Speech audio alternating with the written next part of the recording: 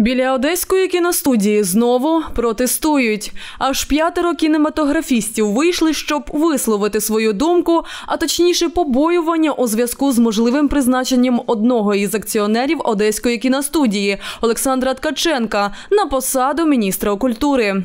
Варто зазначити, що преси набігло куди більше ніж було самих мітингувальників. Життя кіностудії, як і її доля, сьогодні хвилює всіх. Петро Мендрик 30 років присвятив роботі на одеській кіностудії. Починав з простого інженера, закінчив начальником цеху. Зараз колишнє місце його роботи заросло бур'янами. В общем-то, любой акционер, любой хозяин, он э, должен дбать про свое предприятие. В 2000-х годах, когда, допустим, э, он был продюсером э, фильма «Дом с башенкой», ни одного объекта, ни одного заказа не было расположено на его детище, на его предприятии.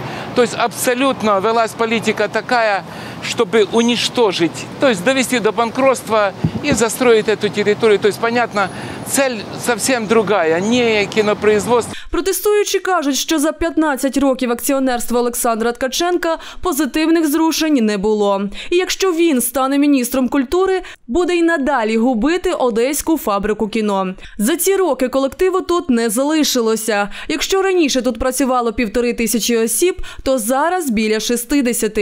Кінопроцес досить тривалий час стоїть на місці, бо коштів немає. Дело в том, что у, у Ткаченко денег нет. У государства он сейчас, используя э, административный ресурс, хочет э, использовать деньги опять наши. То есть, понимаете, что интересно? Он украл у нас киностудию, а сейчас он хочет украсть наши деньги налогоплательщиков и делать за них кино. Понимаете, парадоксальная ситуация. С одной стороны, мы хотим, чтобы делать здесь кино. С другой стороны, мы, мы категорически заявляем, что никаких денег от государства, от Александра Ткаченко на его частную компанию давать нельзя ни в коем случае. До того момента, пока детская киностудия не арестована, мы над этим, над этим работаем. До того момента, пока не расследовано все это злодеяние, никаких народных денег ни в коем случае, неважно, будет он министром, не будет он министром, никаких государственных денег, это наши деньги, это мои, ваши, это всего этого народа деньги. Давайте ему сюда, на то, чтобы он снимал здесь свои фильмы. Какие он тут собирается, мы даже не знаем. Причем те фильмы, которые он сейчас лоббирует, это заведомо непрокатные фильмы. 2019 року Олександр не входить до жодних органів управління і не управляє акціями Одеської кіностудії, не є членом наглядової ради. Е, Тому він е, зараз внаслідок державного статусу відійшов від цих справ і управління здійснюється іншими особами. Е, Тому тут немає, я не бачу конфлікту інтересів. І тут е, можу вас запевнити, що будьте в цьому спокійні. Контрольний пакет акцій поки що знаходиться у держави 50% плюс одна акція. Приватний пакет належить Олександру Ткаченку, колишньому керівнику 1 плюс 1 медіа, народному депутату від партії Слуга народу та забудовнику Андрію Вавришу. Мітингувальники впевнені, так звані власники сплять і бачать, щоб якомога швидше забудувати територію кіностудії. Однак, за словами Андрія Осіпова, такий результат подій неможливий, адже земельна ділянка виділена для розміщення тільки одеської кіностудії. А ще за законом, який був прийнятий у жовтні минулого року, існують три гарантії, які унеможливлюють забудову цієї території. Після завершення процесу приватизації е, підприємство кіностудія не може змінити свій профіль на протязі 20 років. Також на протязі 20 років не може бути зменшена е, земельна ділянка чи змінено її цільове призначення.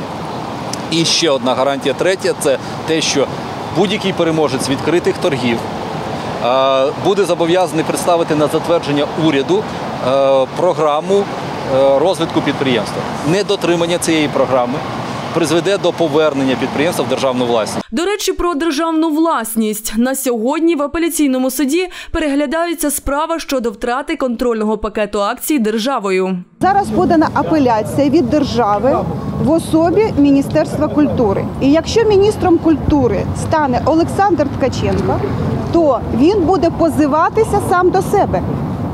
Розумієте? Чи не вбачаєте ви в цьому конфлікт інтересів? І там сидять наші народні депутати, які цього не вбачають. Одеська кіностудія одна з найстаріших кіностудій у Європі. Тут знімались легендарні фільми, які внесені у золотий фонд українського кінематографу.